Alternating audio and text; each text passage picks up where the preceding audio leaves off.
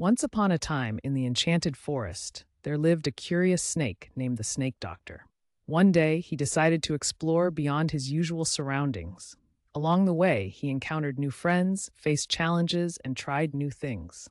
Through his adventures, the Snake Doctor learned that being open to new experiences not only brought him joy and fulfillment, but also helped him grow as an individual.